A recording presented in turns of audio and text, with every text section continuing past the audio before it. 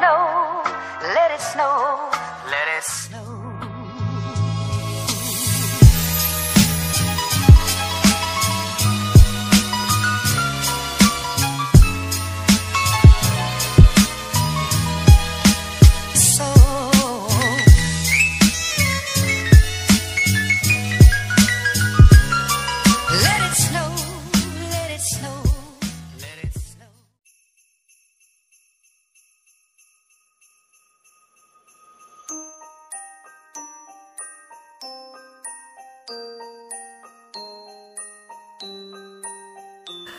Coucou tout le monde, j'espère que vous allez bien. Un tuto rapide. Je vais commencer par plier ce bout de tissu, ce coupon, et je vais coudre à ces endroits. Lorsque c'est fait, je vais le retourner et ensuite, je vais bien l'aplatir comme ceci. La prochaine étape, ce sera de surpiquer à ces endroits.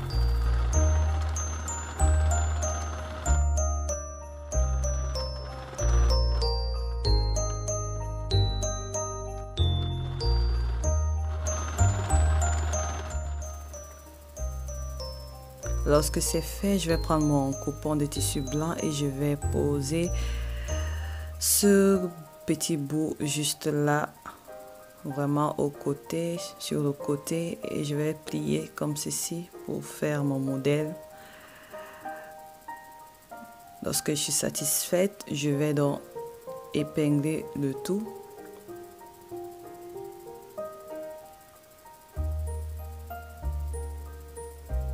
Et ensuite, je vais coudre à ces endroits.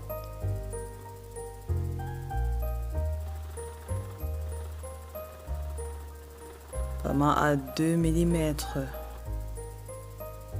Juste pour euh, que ça ne gêne pas quand nous allons assembler les deux coupons.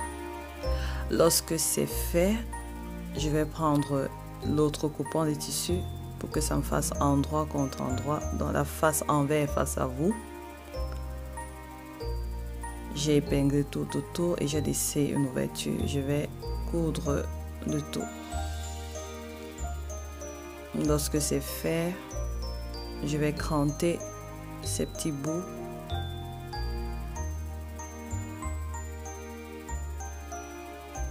J'ai retourné déjà mon tissu. La prochaine étape, je vais coudre mon bouton.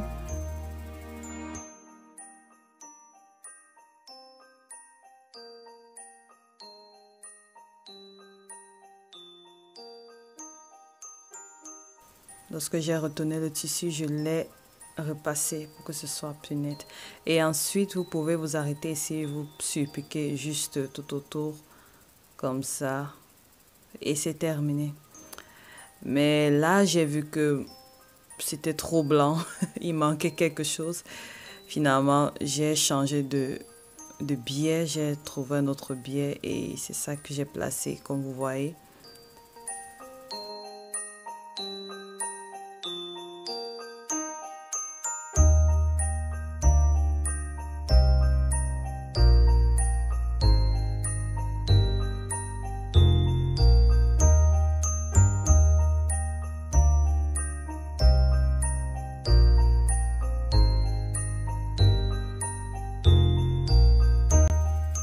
Je vais coudre tout autour.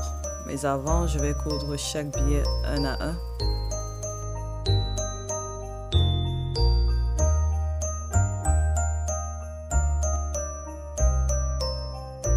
Voilà, c'est terminé. Voilà notre dessous de plat.